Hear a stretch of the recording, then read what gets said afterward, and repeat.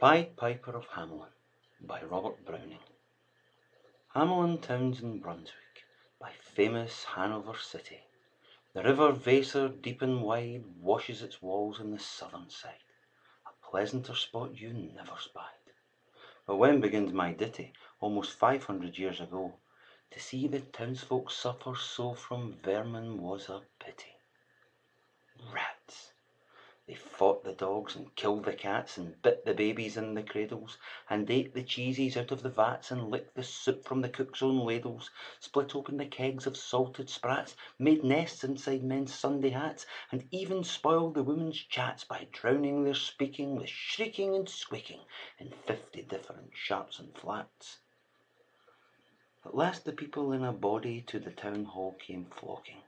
"'Tis clear," cried they, "our mayor's a noddy, and as for our corporation, shocking! To think we buy gowns lined with ermine, for dolts that can't or won't determine what's best to rid us of our vermin. You hope, because you're old and obese, to find in the furry civic robies? Rouse up, sirs! Give your brains a racking to find the remedy we're lacking, or sure as fate we'll send you packing. At this the mayor and corporation quaked with a mighty consternation. An hour they sat in council. At length the mayor broke silence. For a guilder I'd my ermine gown sell. I wish I were a mile hence. It's easy to bid one rack one's brain. I'm sure my poor head aches again. I've scratched it so, and all in vain.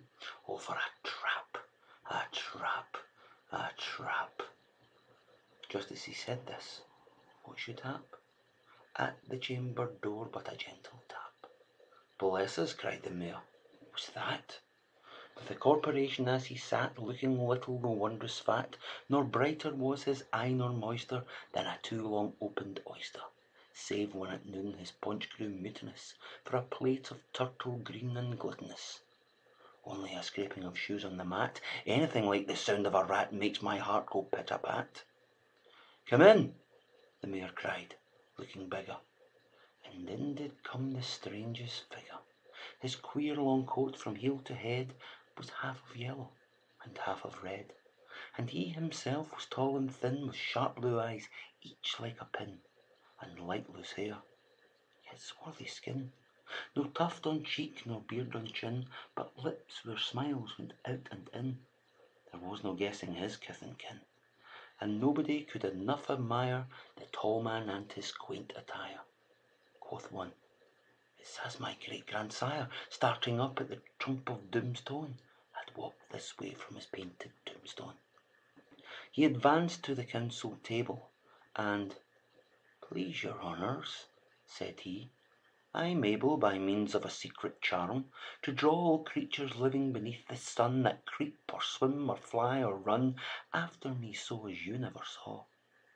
And I chiefly use my charm On creatures that do people harm, The mole and toad and newt and viper, And people call me the Pied Piper. And here they noticed round his neck A scarf of red and yellow stripe, To match with his coat of the selfsame check and at the scarf's end hung a pipe.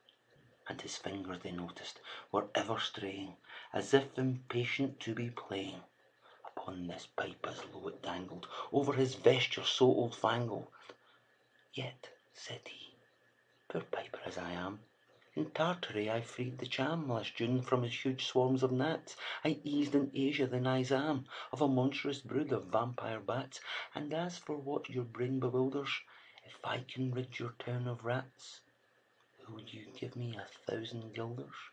One? Fifty thousand was the exclamation of the astonished mayor and corporation. Into the street the piper stepped, smiling first a little smile, as if he knew what magic slept in his quiet pipe the while. Then like a musical adept. To blow the pipe his lips he wrinkled, And green and blue his sharp eyes twinkled, Like a candle flame where salt is sprinkled. And ere three shrill notes the pipe uttered, You heard as if an army muttered, And the muttering grew to a grumbling, and the grumbling grew to a mighty rumbling, and out of the houses the rats came tumbling great rats, small rats, lean rats, brawny rats, brown rats, black rats, grey rats, tawny rats, grave old plodders, gay young friskers, fathers, mothers, uncles, cousins, cocking tails and pricking whiskers, families by tens and dozens, brothers, sisters, husbands, wives, followed the piper for their lives. From street to street he piped advancing, and step for step they followed dancing, until they came to the river Weser, wherein all plunged and perished. Save one who, stout as Julius Caesar, swam across and lived to carry, as he the manuscript he cherished, to Ratland home his commentary, which was At the first shrill notes of the pipe, I heard a sound as of scraping tripe, and putting apples wondrous ripe into a cider press's gripe, and a moving away of pickled up boards, and a leaving a jar of conserve cupboards, and a drawing the corks of trenail flasks, and a breaking the hoops of butter casks. And it seemed as if a voice, sweeter far than by harp or by psaltery is breathed, called out, O rats, rejoice! The world is grown to one vast drysaltery. So munch on, crunch on, take your nuncheon, breakfast, supper, dinner, lunch on, and just as a bulky sugar puncheon, already staved like a great sun, sun shone, glory is scarce an inch before me, just as methought it said, Come bore me! I found the Weser rolling o'er me.